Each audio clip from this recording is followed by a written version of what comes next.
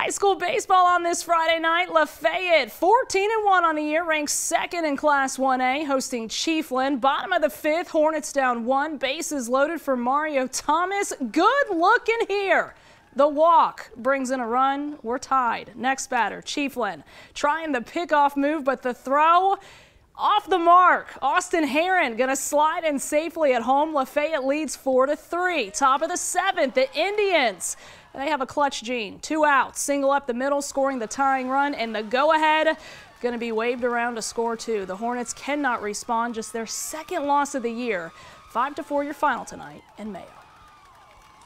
We were 14 and 0, then we lost on Tuesday, and then we just went back to back. So rather than having a winning streak, now we're on a two-game losing streak. So um, I just felt like we really didn't come prepared to play, and it was just time for them to get together and see if they could hash it out themselves instead of listening to me all the time.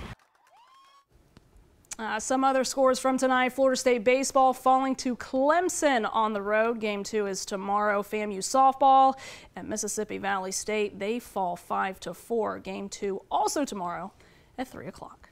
Busy day today, guys. Valdosta State baseball also played. TCC was in action. Seminole men's golf at the ACC tournament. All those recaps on the website, WTXL.tv.